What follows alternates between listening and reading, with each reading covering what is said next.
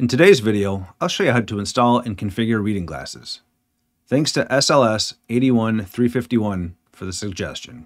Reading glasses is a drop-in replacement for Readarr's now defunct metadata service. It works with your existing Readarr instance and is backwards compatible with your existing libraries, both ebooks and audiobooks. It's basically corrective lenses for Readarr. Let's get reading glasses installed. If you just want to fix Readarr the quick and easy way by using a third-party metadata service of reading glasses, let me show you how to do that. But if you want to actually self-host it, stick around, we'll get to that in a moment. To just fix it, let me show you what to do. We're going to open up our instance of Readarr. So I'll jump over to my Docker tab. We'll find Readarr. It's under my media automation folder. We'll go to the icon for it, drop down, and select Web UI. We'll go up to the URL field, and we'll type in a location that you normally can't get to. Up in the field, you should already have the URL and port number for Readarr.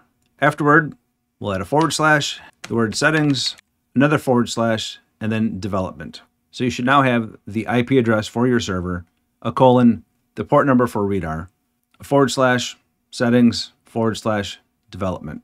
Once that's in there, press enter, and it'll bring you up to this page.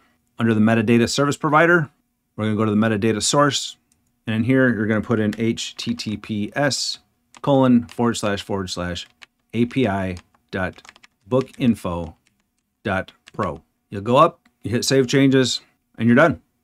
But I'm assuming you're here to install your own self-hosted instance because you'd rather rely on your own stuff versus some third party. Let me show you how to do that. I'm not going to save this. I'm just going to leave it the way it is, exit out, and we'll get on with the installation. Before we install reading glasses, there's a few prerequisites that you need to know about. One, you got to have a Postgres 17 database. If you don't have Postgres installed, I'll leave a link in the description, and I'll leave a link to that video as well up here. And I like to create all my databases with Adminer, just makes it quick and easy. If you don't have Adminer installed, once again, I'll have a link to that in the description, and you can find it up here as well. Let's go create that database now. I'm going to log into Adminer, so I'm going to find it in my Docker list. I have mine under my database services folder. I'm going to open that up. I'll find Adminer in the list. It's already running. We'll click on the icon for it and select Web UI. Now it wants me to log in. First thing I'm going to do is change the system from MySQL MariaDB down to the Postgres database. The server IP is going to be the IP address for your Postgres server, which is most likely your server's IP address. So I'll put in my demo server here. Next down, we've got username. If you did follow along in my Postgres video, then in there I did say that I'm going to set the username and password to Postgres just to keep it simple. So that's what I'm going to enter here. So username is Postgres, password is also Postgres. If yours is something different, obviously use what you've created. Once you have those in there, go ahead and hit login, and then it should log you into the database. Once you're in there, at the top, we're going to click on Create Database. We'll give it a name here, and I'm going to call it Reading Glasses. It's R-R-E-A-D-I-N-G hyphen glasses. Then we'll hit Save. Now, if the database is created, let's go on to installation. We'll go back to our Unraid server, We'll go to apps. We'll go to the search box in the top left and we'll search for reading glasses. Once again, that is R-R-E-A-D-I-N-G, then the space, then glasses. And you should find a nice little smiley emoji icon. Once you find it listed there, go ahead and click on install. And you'll see that it says you're going to need Postgres installed. And then depending on which service you're going to use, Goodreads or hardcover, you'll need one of those two items. Basically at this window, just hit OK. Now we can start filling out the required container information. The name, reading glasses is fine. We can scroll down to the port number. Port number 8788 is the default port number for reading glasses. Let's see if that's available. I'm to scroll all the way down, expand Show Docker Allocations, scroll back up, find that port number again, double click on it so it's highlighted, hit Control F in the keyboard, brings up the Find feature. It shows three in use, one, two, and we got to see what else is using it here. Speaker. All right, for me, Speaker is using that same port number, so I have to change it. If yours is free and it's not in use, you just have two results, then feel free to move forward with the default port. Like I said, mine's in use, so I'm going to change it.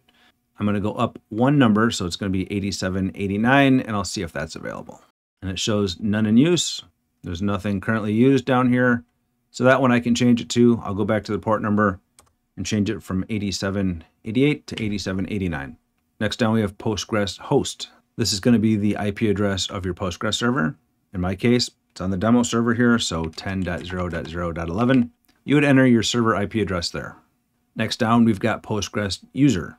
This is the user of our Postgres account. Once again, if you followed along in my previous video, I had set it to Postgres. If yours is something different, obviously set it accordingly. Password, once again, Postgres. Next down, we have Postgres database, which is RR reading glasses, and that's the name of the database that I created. So that's fine. If you have something different, obviously you'll have to set it to what yours is named. Postgres SQL port. The default is 5432. Mine is on the default, so I'll leave it alone. If you are unsure what your port number is, easiest way to do it, since we've already got the Docker allocations expanded here, you can just go back up to your find window here and put in Postgres there.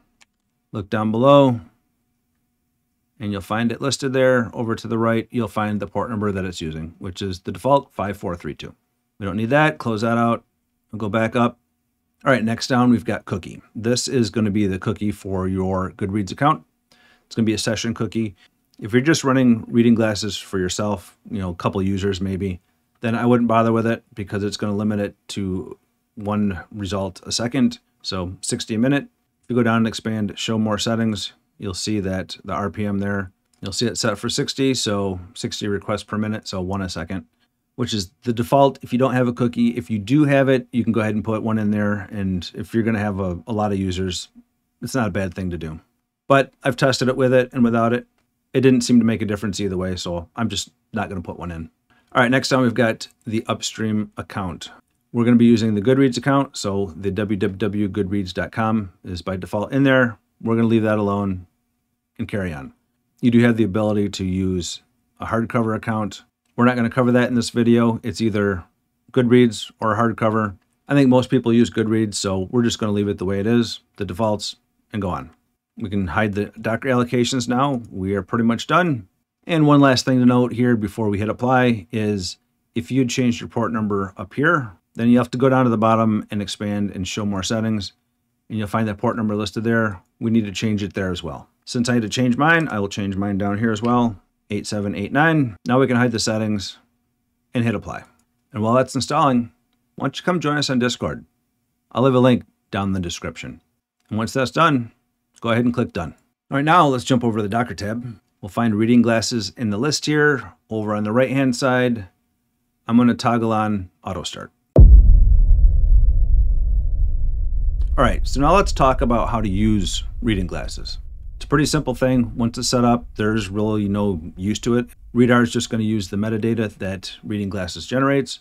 So let's go take a look at Radar before we make any changes and see what kind of results we have. So let's go open up Radar find it in the list, expand the folder here. And once logged in, I'm going to click on the authors tab. On yours, take a look around, see what you've got. Like you can see this author here is kind of a shrunk down letterbox version of himself. This guy's kind of cut off on the sides. Stephen King's kind of cut off on the sides, as is that one. If you were like that, this guy doesn't even have a picture, and not all authors will. Now let's go over to our books. So over on the left, I'll click on books. And Then notice some of the books here. We've got like 2010 A Space Odyssey. There is no cover for it. Same thing with 2010. 3001, it looks to be cut off in the top and the bottom. This Douglas Adams one, same thing. A couple of them are kind of like that. This is just kind of a very rudimentary cover on that one. These are all cut off. This Meaning of Life here is kind of squished down. So that's what my books and authors look like currently. So now let's go make the metadata change in Readarr and we'll refresh everything and then see what changes. But before we do that, let's go open the log for reading glasses and see what that says. All right, we'll find reading glasses in the list, find its icon, drop down, and go to logs. And you should find just a couple items in here. The last one says listening on whatever your port number is. All right, we're gonna leave this window open. We're not gonna close it, so I'm just gonna drag it off to the side for now so I can get back to it. We'll go back into Readarr, and in here, we're gonna need to go to that special page again. So it's gonna be the IP address for Readarr the port number, and then forward slash the word settings forward slash development. Once you have it in there, hit enter, go to that site. Then under metadata service provider, metadata source, this is where we need to put in the IP address and the port number for our reading glasses instance. So it's going to be http colon forward slash forward slash the server IP address followed by a colon and then the port number for your reading glasses. Mine is 8789. The default is 8788. Once you have that all set, we're going to go up to the top left here and click on Save Changes. Now on the left side of Readarr, we're going to go back to our library. We'll click on any author. Top left, we're going to click on Refresh and Scan, and that should go out and force a new scan. Let me drag the log window back over, and you'll see here that it's starting to get results. Author IDs are popping up. Great. At this point, we'll just let it go for a bit. It's going to update the metadata. I'm going to go over to my books here. We'll hit update on all those. Authors, once again, update all those. I went to my author here. Don't know who he is. Refresh and scan. Go over to our books. We'll update one of these. And you'll see it was quick. Pulled in the new metadata for it, new cover image. We go back to the log here. Let me drag that back over. You'll see a lot more results have kind of popped in and shown up. So basically, you just let it go now, and it'll go through and refresh metadata and get everything set up for all your authors and your books. And you'll see it's still uh, fetching results. So it takes a while for it to update everything in the library, but it is way faster than what Readarr was before, where you know you'd search for an author and it just would fail. So there you have it. Now you have corrective lenses for Readarr using reading glasses. If you found this video helpful, make sure to hit the like button and subscribe to the channel. And if you'd like to support the channel directly, consider becoming a Patreon.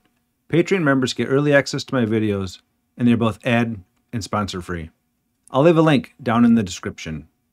Until then, check out one of these next. And I'll see you in that one.